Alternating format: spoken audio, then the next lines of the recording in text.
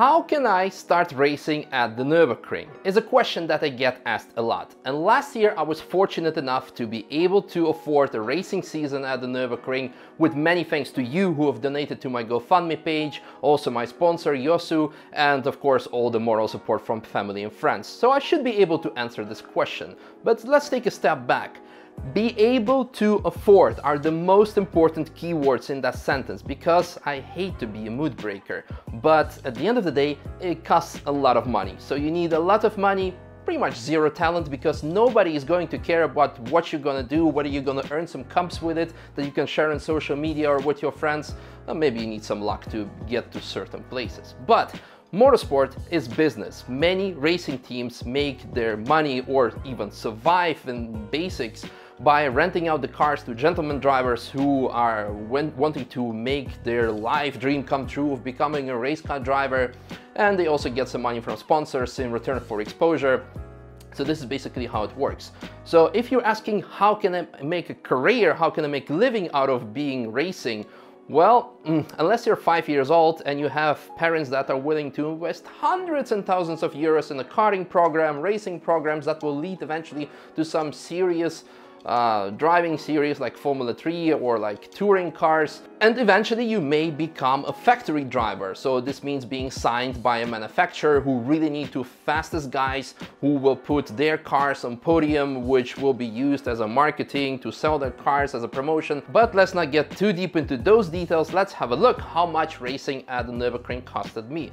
So last year I was racing a BMW M240R in RCN and VLN series. RCN is a starting series which is a step after GLP, but a lot of people skip GLP. They start with RCN, which is kind of a sprint slash time attack series. And after that, you can move on to VLN, which is nowadays will be renamed to NLS or NES, Nürburgring Endurance Series, which is a four hour endurance racing series. So you have one six hour race, and this eventually will lead also participation of the 24 hour race. But let's start with, with RCN, with the basics. I already told you in my vlogs where I showed you my racing adventures at RCN that for that car, car, it costed 2,800 euros for an RCN race for a seat. A seat, this means that you are sharing the car with someone else, or if you have the money and stamina to drive the full two stints, you can do it as well. And this basically covers everything. The participation, the fee, the car, the consumables, the fuels, also insurance. Speaking of insurance, however, as you probably know, I found out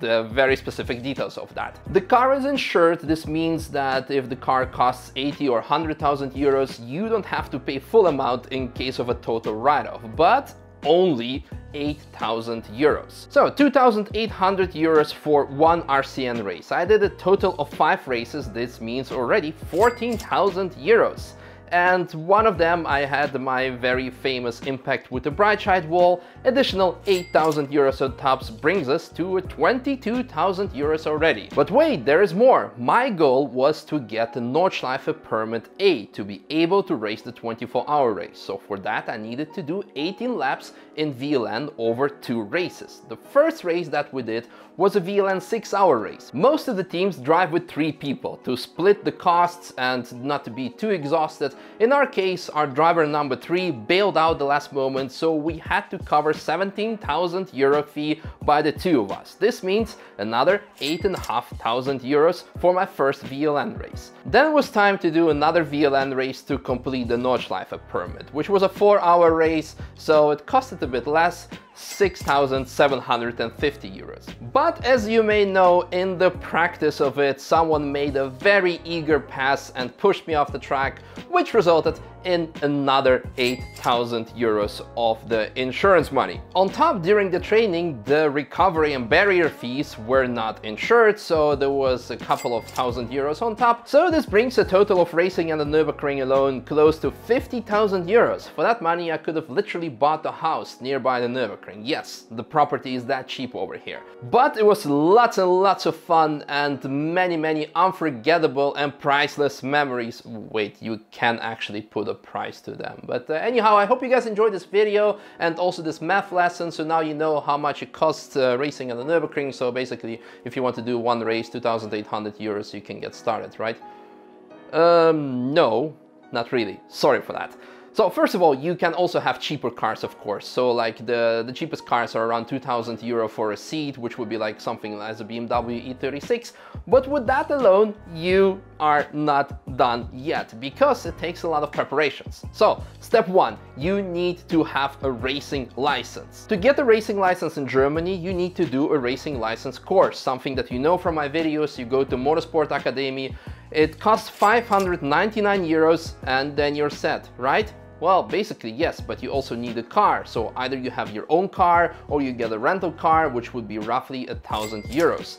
Then you also need to travel there. So like 100 euros travel costs, 100 euros hotel costs, probably fuel for your car, Maybe you need to fly from a different continent if you want to have a German license in particular. I don't know the license regulations of your country, but basically it's pretty much the same. Sometimes you need to do a couple of more races before you're able to drive the Nürburgring to get the international D racing license. But this is something like it, it differs per country. Right now I'm only talking about Germany. But once you pass the license course, you can start racing, right? Well, you actually need the actual license first. And before you get the actual license, you need to apply for that at DMSB, pay 228 euros last year, I believe, for a national A license, and then you get that, right?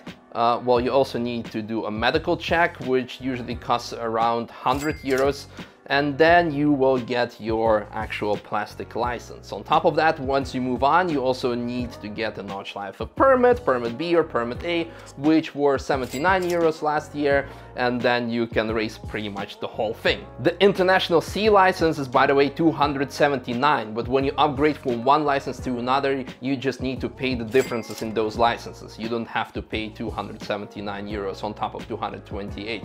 By the way, Germany offers pretty cool option you can have a pseudonym. So basically you can attach a different name like Boosted Boris or there's a guy called Bugs Bunny at racing if you want to stay anonymous. Alright, you got your plastics and now you can race, right? Well, you need racing gear, bro. So first of all, and pretty much obvious, you would need a helmet. What am I doing? This could lead to a very expensive mistake, and racing alone is already an expensive uh, mistake by itself. But anyhow, helmet, and you probably want to upgrade its visor. Moreover, communicating with the team from inside your car with the pits is probably a good idea, right? So this helmet is equipped with a built-in microphone, but for the headphones you need to buy them separately. And in this case, 249 euros. So by now probably AirPods are not that expensive anymore, right? In addition to the helmet, a Hans device to protect your neck in case of an injuries. And I can tell you, frontal impact with a concrete wall at 120 kilometers an hour, I had no issues with that walking out, didn't need any medical assistance.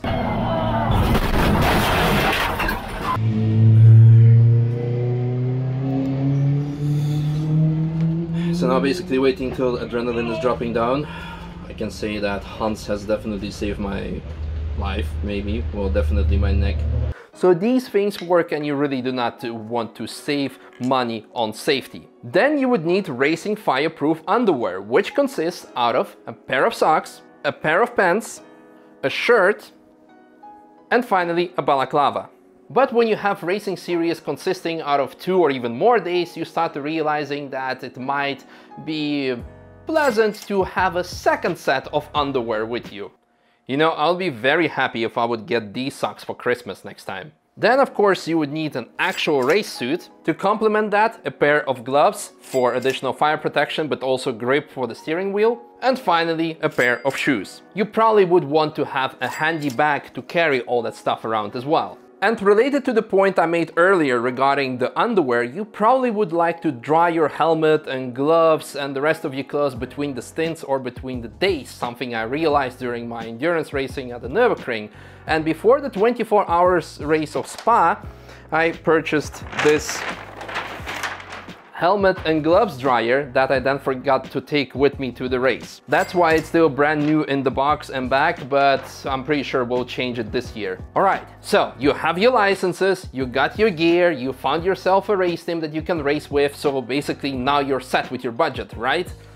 Well, in my case, I'm fortunate enough to have an apartment in Nürburg. So when we talk about racing at the Nürburgring, I basically can just like get out of bed, brush my teeth, put on my racing suit, and five minutes before the briefing, I can start walking towards the paddock, and here I am, guys, all in time, right?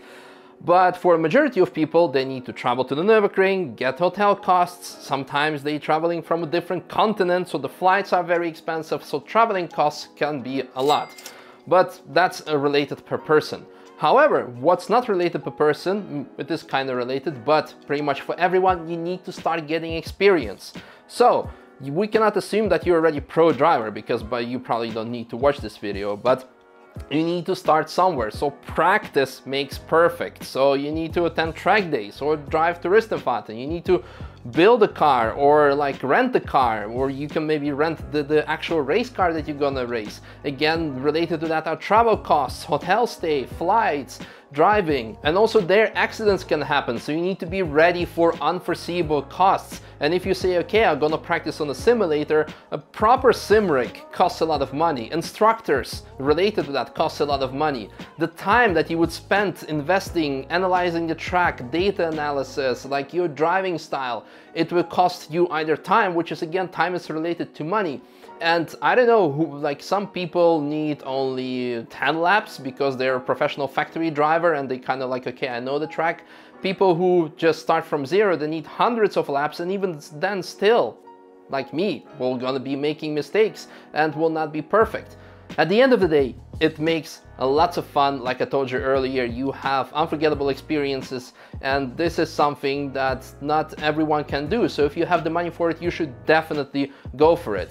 And if you're discouraged by the numbers that I mentioned, think of that GT3 driving season, whether it's Blancpain, okay, it's not called Blancpain anymore, but the World Endurance Series GT3 by SRO, um, or Nürburgring GT3 goes into a million euros if we talk about Formula One season, 250 million euros per team per in average, which is pretty damn expensive. So now, a Touristenfahrten, a yearly subscription to drive the Nürburgring Unlimited, for 2,200 euros doesn't sound that expensive anymore, or driving a track day, right? You can of course just drive one or two RCN races in a lower level car at the Nürburgring, or like a lower entrance series, like a time attack competition, and be absolutely happy. I'll be honest with you, for me, driving a slow car in a lower racing series like time attack or the 24 hours of Spa with Citroen C1 that I did earlier this year brings as much or even more joy than driving a lot more expensive car. I mean, if you're willing willing to spend that money to drive a GT3 car and at the end of the day of course you would get a lot more exposure which is good for publicity and likes then it's one thing. But always remember do it for yourself. It doesn't matter what other people think. Pick the right choice what suits you. And i hope now you understand where the saying comes from that if you want to become a millionaire in racing you can start as a billionaire. And let me give you one advice. If you have kids let them do drugs because that's less expensive than racing. No don't do drugs. Don't don't do just just have fun at racing. See you at the track, guys.